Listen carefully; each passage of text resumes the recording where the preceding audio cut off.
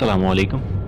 امید کرتے ہیں آپ تمام سننے والے خیر خیریت سے ہوں گے، ٹھیک ٹھاک ہوں گے۔ یہ جو واقعہ میں آپ کی سماعتوں تک پہنچانے جا رہا ہوں، یہ واقعہ ہمیں ہمارے ایک ویور نے بھیجا۔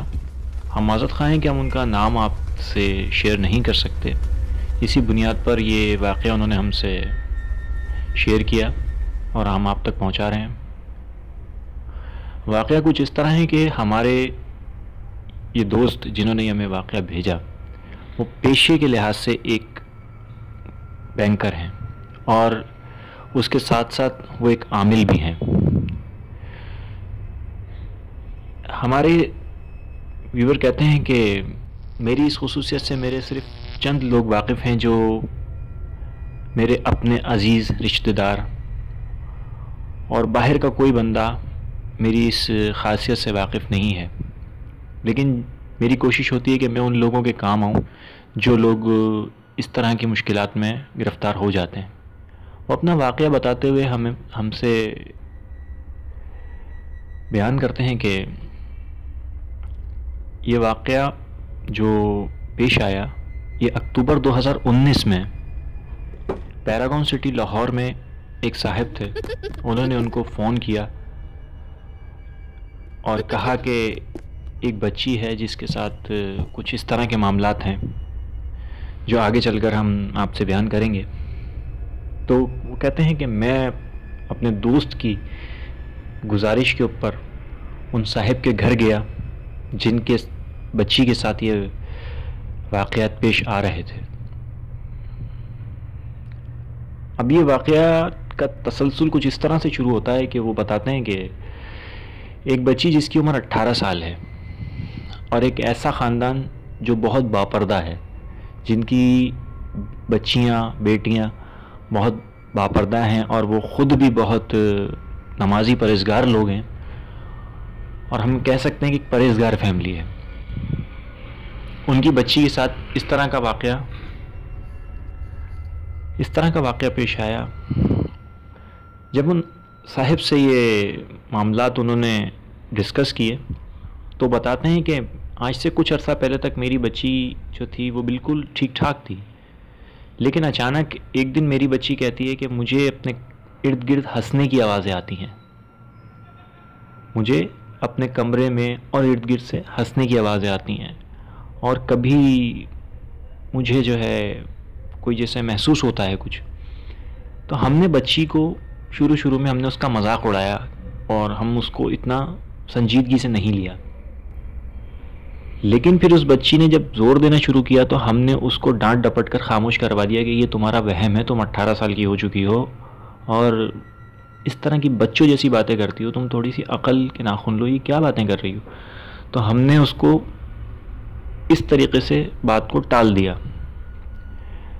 ان کے والد کہتے ہیں کہ ہم نے بچی سے پوچھا نہیں، دوبارہ اس چیز کے متعلق، لیکن بچی نے پھر ہمیں بتانا شروع کیا کہ اب جو چیز ہے وہ مجھے نظر آنا شروع ہو گئی ہے۔ باقاعدہ مجھے اپنے ارد گرد ایک کالے رنگ کا سایہ نظر آتا ہے۔ لیکن اس کے باوجود بھی ان کے گھر والوں نے اس بچی کی بتائی ہوئی ان باتوں پر کوئی خاص توجہ دینا مناسب نہیں سمجھا۔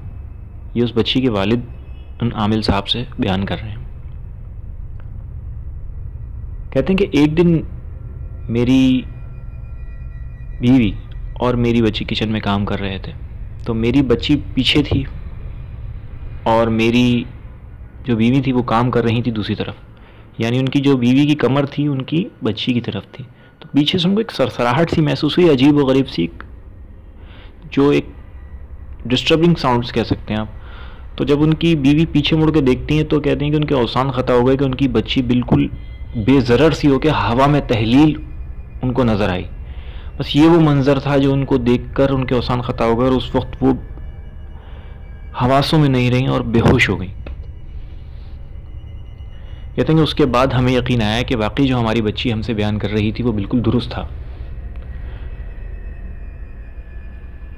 اب جب ان کو بلایا گیا حامل صاحب کو تو انہوں نے کہا کہ ٹھیک ہے، آپ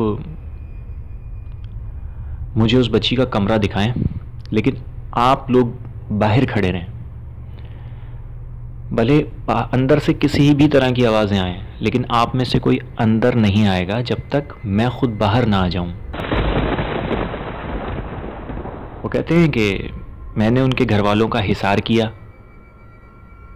انہیں ایک دائرے میں کھڑا کیا اور میں خود اندر چلا گیا۔ لیکن اس جانے سے پہلے مجھے کالے رنگ کا ہیولا اس کمرے میں جاتا ہوا محسوس ہوا، لیکن اس سے پہلے اس ہیولے نے، کالے رنگ کے ہیولے نے مجھے، سائے نے مجھے دیکھا اور ہنسنے کی آوازیں اس میں سے آ رہی تھیں، لیکن اس کی جو چہرہ تھا وہ مجھے واضح نہیں ہو رہا تھا اور وہ اندر کمرے میں چلا گیا، اس بچی کے۔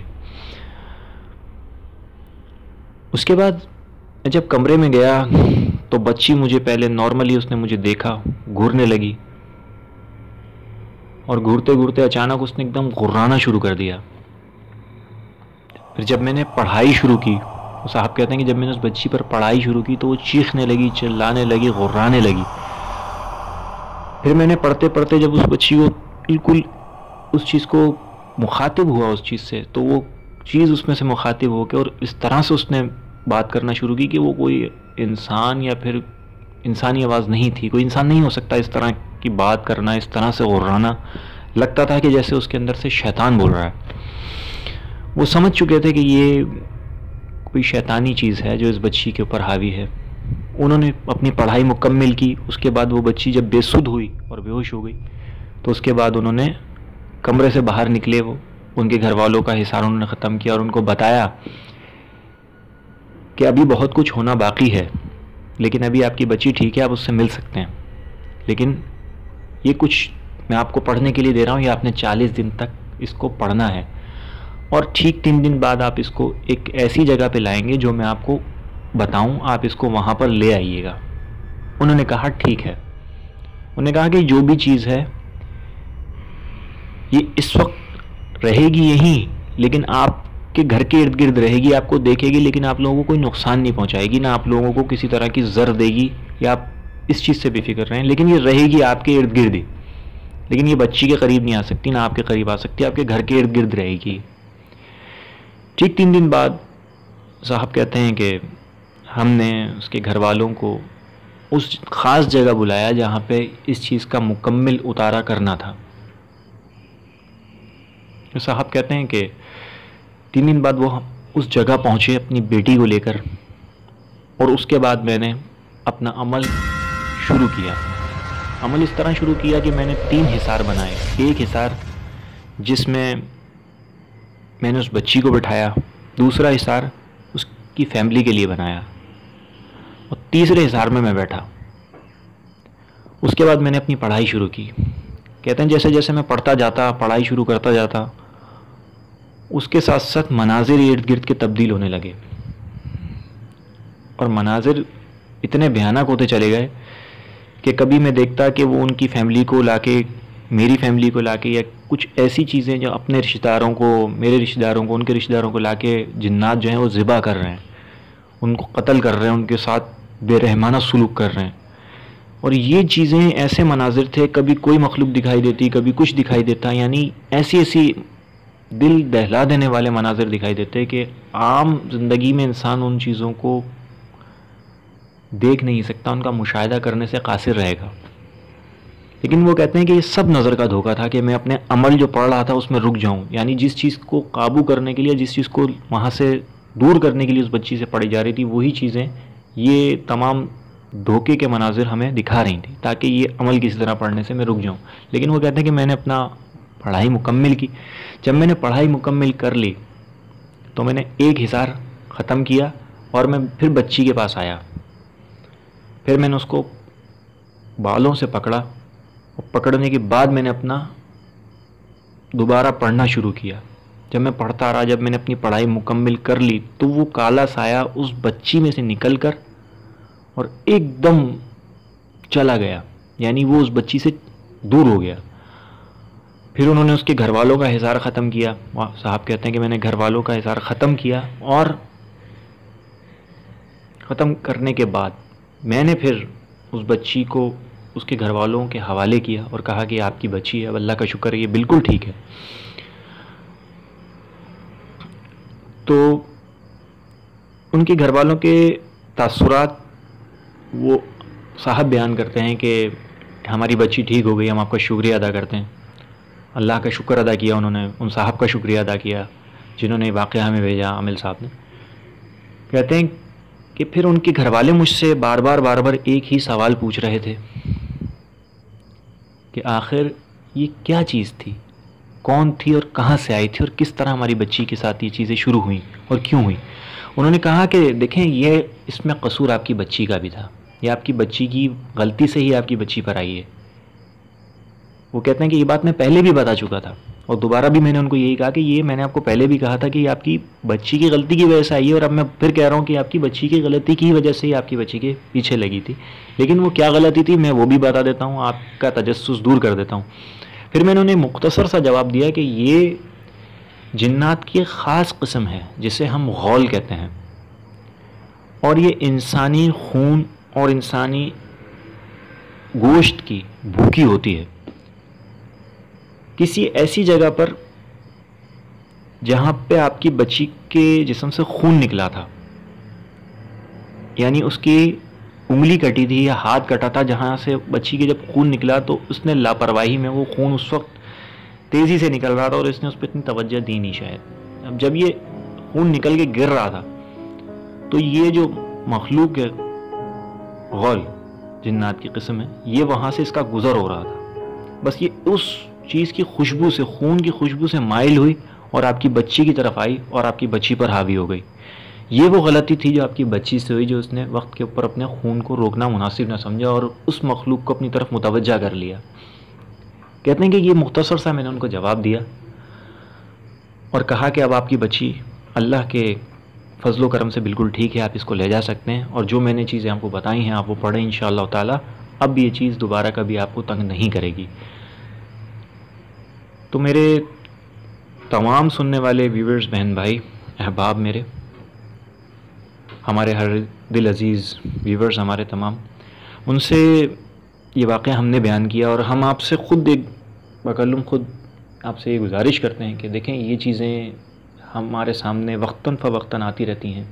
یہ واقعہ ہم نے آپ کی سمتوں تک پہنچایا۔ ہم بتانا بھی یہی چاہتے ہیں کہ ہمارا مقصد ایک اصلاح کا ہے۔ یہ واقعات جنہوں نے بھیجے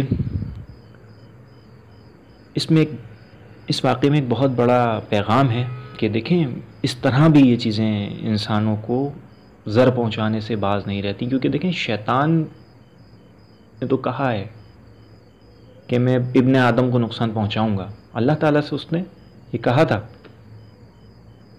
کہ جب تک ان کے جسموں میں لہو ہے، خون ہے، میں خون کی رفتار کی طرح ان کے جسموں میں گھوموں گا اور ان کو نقصان پہنچاؤں گا۔ تو آپ اس بات کو تمام ہمارے بہن بھائی اس بات کو سنیں، سمجھیں کہ دیکھیں یہ چیزیں اس طرح بھی انسان کے اوپر حاوی ہو جاتی ہیں۔ چھوٹی چھوٹی چیزوں سے احتیاط کریں، اپنی تہارت کا خیال رکھیں، اسی طرح اپنے سراپے کا بھی خیال رکھیں، لڑکے، لڑکیاں، سب، تاکہ ان چیزوں سے بچا جا سکے۔ قرآن پاک میں اللہ تعالیٰ فرماتا ہے نا کہ شیطان تمہارا کھلا دشمن ہے۔ جب اللہ تعالیٰ فرما رہے ہیں قرآن پاک میں تو پھر ہمیں سمجھنا چاہیے کہ ہمیں اپنے دشمن سے کیسے بچنا ہے۔ تو بس ایک یہ میسیج تھا اور یہ واقعہ تھا۔ آپ اس سے بہت کچھ سیکھ سکتے ہیں، سوچیں، سمجھیں اور اپنی سمجھ کے مطابق اس پر عمل کریں۔ امید کرتے ہیں کہ آپ ہمیں اپنی دعاؤں میں یاد رکھیں گے اور اپنا خیال رکھیں گے۔